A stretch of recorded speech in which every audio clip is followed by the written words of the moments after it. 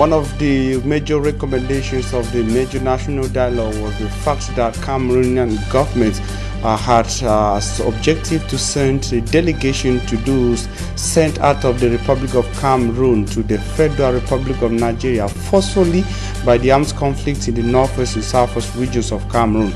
They call them refugees. They are now scattered across states uh, from the Cross River to the Taraba, all in the neighboring Federal Republic of Nigeria. But you want to know what these people think? They say they do not want to see anybody coming to them, at least not sent by the governments of uh, the Republic of uh, Cameroon.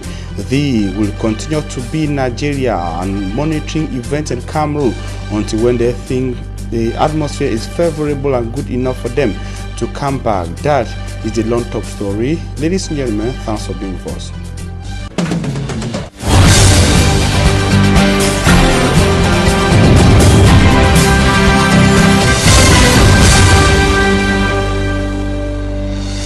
You are on to the primetime newscast on Equinoxe uh, television live from Cameroon's economic capital city, Equinoxe Central News Desk. Ladies and gentlemen, thanks for making the right choice to listen to news on the best of uh, media again that is Equinoxe Television. We begin with uh, this accident in the final region of uh, Cameroon that has taken uh, so many lives so far in the final region of Cameroon. As you can uh, see there, the images are from uh, one of uh, the conflict-stricken region of Cameroon, and of course, it is an accident that has left five persons dead at uh, Bandan Bandankili on uh, Marwan stretch of, of road in the uh, northern regions of Cameroon. The accident occurred uh, today. Uh, sources have confirmed. State media has also reported of uh, the incident. So far, five persons have died in that accident, and of course, the accident is said to have been caused by a wrongly parked vehicle along the said highway. That is the major road linking Maroua chief town of the far north region of Cameroon to Ngaoundéré, which is the chief town of the Adamawa region of Cameroon five persons have died in the course of that accident. And of course, uh, road accidents have continued in uh, Cameroon and major highways.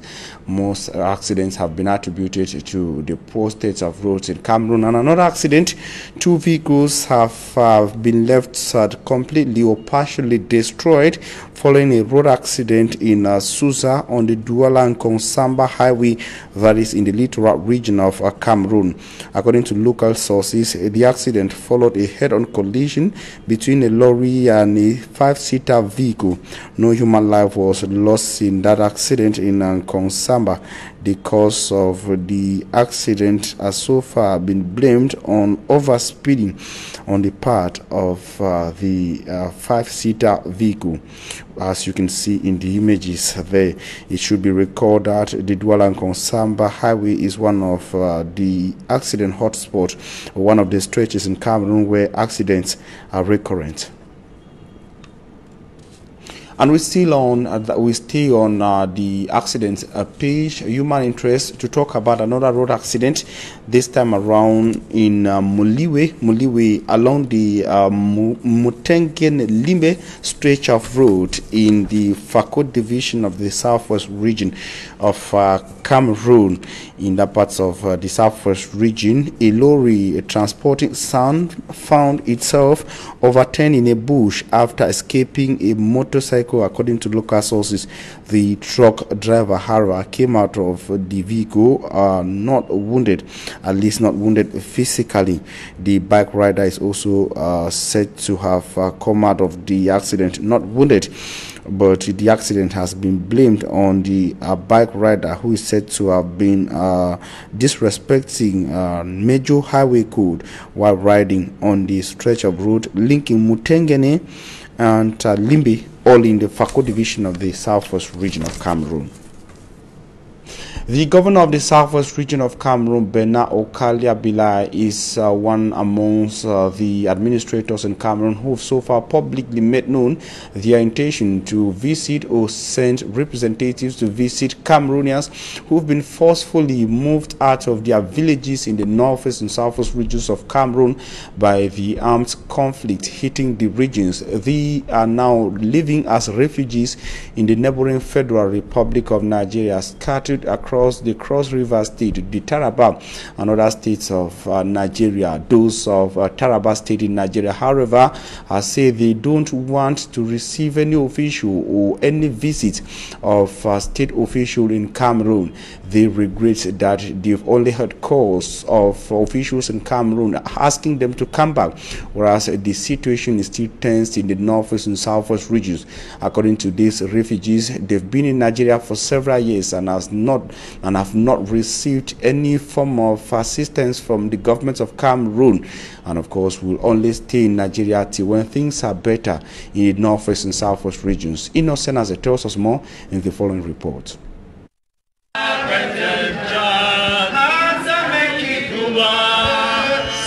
Refugees from Anglophone Cameroon in Cross River State, Nigeria meet to address some burning issues like continuous call for them to return home by government authorities who say their security is guaranteed.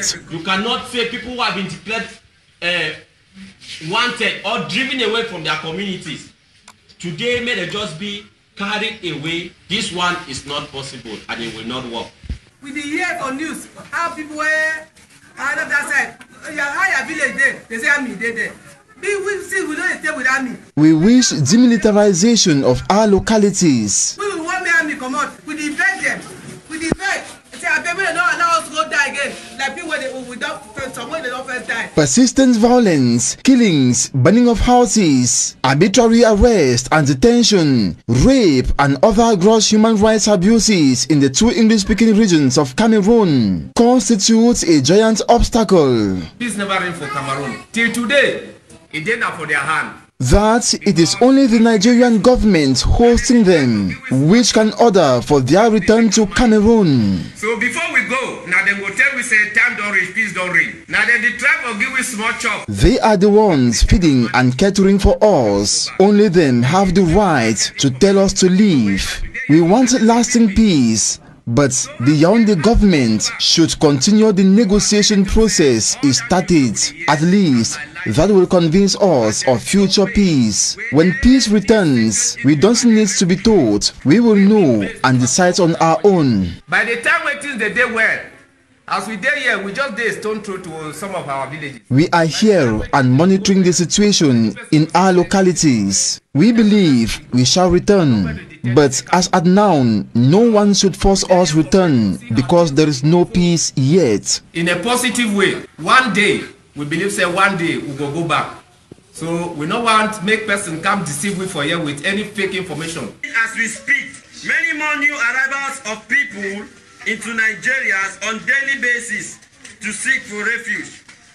Despite all misery and trauma we face here, at least we feel a bit safe as refugees. Despite government's uncountable statements, the military is there to protect lives and properties. The refugees in fear still do not abide to these statements. How we go stay for our own village where army don occupy am? Dem no dey even agree. Dem no dey gree say make person step an inch enter that village.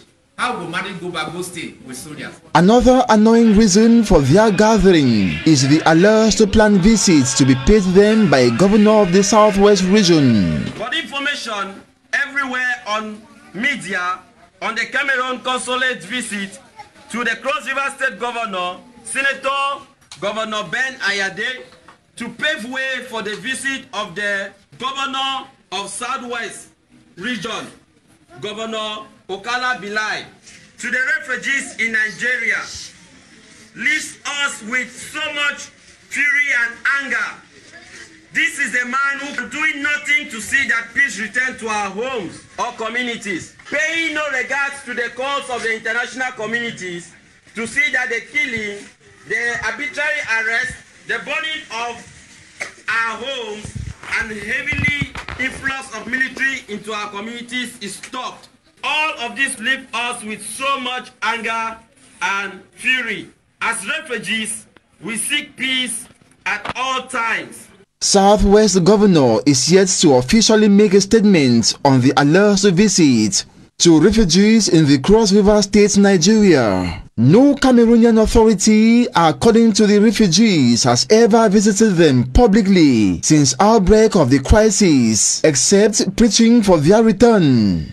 Delegates at the Major National Dialogue last year resolved for a swift return of the refugees to Cameroon. As a result, over 80 individuals driven in buses claimed to be some of the refugees were presented to Cameroonians in Yaoundé. And speaking on behalf of his core refugees, the representative of the Cameroonian refugees in the Cross River State in the Federal Republic of Nigeria extended thanks to the Nigerian government for catering for them for over three years that they have been in Nigeria. They said they will continue to monitor events and regretted that the Nigerian officials also aided uh, the Cameroonian officials in arresting uh, some of uh, the separatist leaders who were taken sometime in 2018 and bundled to the nation's uh, political capital city, Yaoundé. Take a listen to their spokesperson in this extract selected by Innocent Aze. Safe. In this local government area in Cross River State, Nigeria, we always appreciate and remain grateful to the federal government of Nigeria, more especially to the state government of Cross River State, Taraba State, and other states keeping our people for your openness on the Southern Cameroonians, for food, for shelter, and other humanitarian assistance as we fled away from the inhuman act brought on us, killing our families, both young and old, little children not left out, raping our women, raising down our homes, and heavily militarizing our communities, simply because as a people we ask to be treated as humans with respect to our human rights. These reasons made us to become refugees. All thanks to the fact that you, the Nigerian government, open your doors for us. The, and according to the United Nations uh, Refugee Council, there are over 50,000 Cameroonian refugees living in Nigeria. 50,000 refugees, all of uh, the armed conflict in the northwest and southwest regions of uh, Cameroon. They are living in at least three states of the Federal Republic of uh, Nigeria. They ran away from insecurity that has uh, grown and has metamorphosized into an armed conflict in the northwest and southwest regions of Cameroon. But insecurity in Cameroon is not only of the two Anglophone regions, it is also affecting other regions of Cameroon and are growing rapidly. A growing and disturbing level of insecurity in Cameroon. As of this day, a locally manufactured explosive is said to have uh, gone off in in Mokolo, a neighborhood in Cameroon's political capital city, Yaoundé, a third of such incident in weeks, but no human damage was recorded. Several arrests were made in the capital following the last explosion explosions of this sort, uh, that is, uh, some less than three weeks ago. It has been a series of uh, uh locally manufactured explosives recorded in uh, Yaoundé. We are also having reports that a similar explosive uh, went off in Bamenda, chief town of the northwest region of Cameroon this day. And uh, back to the armed conflict in the northwest and southwest regions of Cameroon, as, and what has been making headline news with regard to uh, the armed conflict is the recent wave of uh, killings in the northwest and southwest regions, which uh, culminated with uh, the killing or the brutal uh, killing of a lady in Muyuka in the Fako of the southwest region of Cameroon. Cameroonians home and abroad have been reacting. International non-governmental organizations and development partners to the Republic of Cameroon have been reacting, and one of such is the United States of America. The U.S. Embassy in Yaoundé, on its part, has condemned the recent, or what it calls the recent barbaric acts carried out uh, by separatists in the northwest and southwest regions of uh, uh, Cameroon and calls for an immediate end of violence from both parties, uh, though that is referring to the belligerent parties in the conflict in the northwest and southwest regions of uh, Cameroon. The U.S. Embassy has also termed this act disturbing and complete, uh, that is, and complete disregard for the human dignity. The embassy equally extended a message of condolence to the families of the victims of the most recent heinous crimes committed in the Anglophone regions of uh, Cameroon. And I will talk something else, but still in line with insecurity, to say that four members of an armed group accused of uh, terrorizing civilians and inhabitants of uh, Cameroon's major economic capital city, Douala, have been apprehended by elements of uh, the forces of law and order. It was thanks to an investigative, uh, that is, an investigation launched by elements of the national gendarmerie that permitted the uh, tracking down of this men of the underworld. Innocent Aze tells us more in the following report.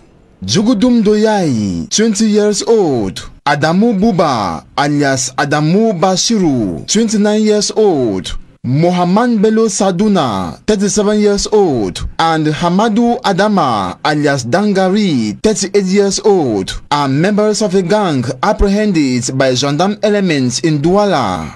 They are accused of terrorizing populations of several towns in Cameroon. They heavily armed themselves when embarking on each operation. This stock of arms and ammunitions were discovered when they were arrested in Douala recently. After an operation in Maroua, far north region in the month of June 2020, these members of the armed gang moved to the Adamawa.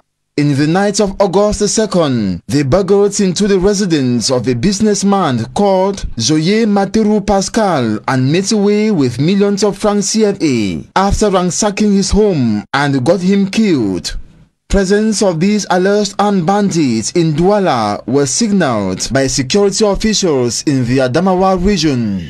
Exchange of information saw Bureau of the Littoral Gendarmerie Legion in charge of fights against criminality capture the hoodlums August 10 in Yambong Japoma neighborhood precisely at the place called Andre Chinoise. They were in possession of a bag containing this gun with four magazine loaders, 618 5.55 times 45 millimeter bullets, a black bulletproof vest, an automatic pistol with a loader, and 41 9 millimeter bullets. Stock of charms were also discovered on them. Investigations continue to track down other gang members on the run and the gendarmerie on success stories in uh, Cameroon.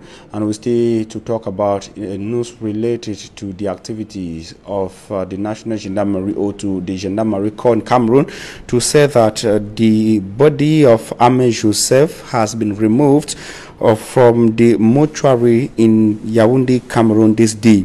The elements of the National Gendarmerie was beaten to death at the Finex Interurban Travel Agency in Cameroon's economic capital city, Douala, last month. The 32-year-old gendarme officer will be buried tomorrow in his village in the east region of uh, Cameroon.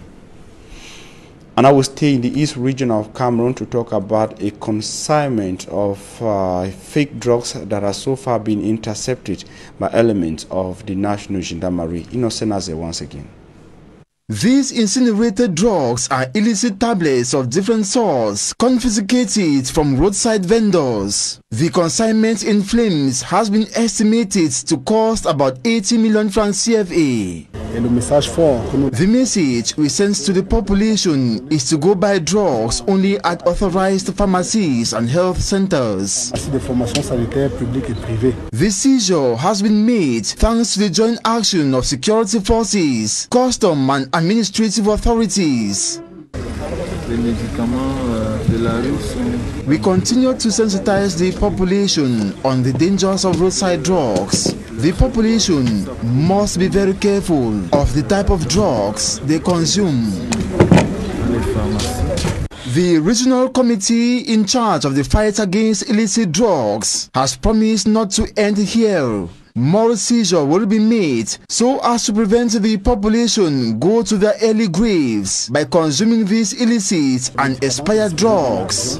et nous sommes en mesure de faire face à No matter what, we will eradicate these drugs. We assure the population quality drugs will be made available at the level of the Regional Fund for Health Promotion and uh, which will be made available by the Regional Fund for Health Promotion in all authorized public and private health facilities in the region. This repeated incineration of roadside drugs is to recall to the population of the East region that healthy drugs are only found in legalized hospitals and pharmacies. Cameroon is uh, preparing for regional elections, and uh, traditional rulers of the Far North region of Cameroon have been schooled on what they will need in order to present themselves for these elections. It was an initiative of a honorable member of parliament of that part of the Republic of Cameroon. Honorable, or rather, a senator, a member of the upper house of uh, parliament, coming from the Far North region of Cameroon, Senator Alium Al Haji. Smart uh, rather, Immaculate Fogwe tells us more in the following report. Majority of traditional rulers in Cameroon who have made their political ideologies public have paid allegiance to the ruling CPDM party. The ideology for traditional rulers to participate in politics is not shared by all of them. According to some traditional rulers, engaging in politics is rather a liability as it does not promote a suitable atmosphere for social cohesion in their area of command. During a meeting that grouped traditional rulers in the far north region of Cameroon, the issue was raised by one of them. disant que les traditionnelles au Cameroun doivent être aujourd'hui autonomes. Traditional rulers have to be autonomous. How do you expect a traditional ruler to work under someone and not be manipulated by the person? There are a lot of traditional rulers who are senators, parliamentarians, to name but these. But my question is, would they be able to manage both positions? Parce qu'on constate que l'État veut absorber le chef traditionnel dans la politique. According to Senator Alium Al-Haji, his decision to group these traditional rulers was to enlighten them on their social responsibility in grassroots development ahead of the eventual regional elections. As uh, you know, many things have changed, and uh, we have uh, today in our country, which is uh, uh, the, the, the regional election, the upcoming regional election, and the rulers, the traditional rulers, have an important place uh, in this uh, matter because they have uh, 20 councillors of, of uh, 90 and uh, we, today we explain for them how to prepare this important issue. So we begin today, explain to them the different laws. Traditional rulers are the custodians of the culture and traditions of their people in African societies. Above this, they are naturally expected to maintain and uphold social cohesion. Ladies and gentlemen, that report brings us to the end of this edition of News on Equinoxe Television. We thank you for your very kind attention. Wishing you a blessed day in the company of programs on Equinoxe. Have a nice weekend.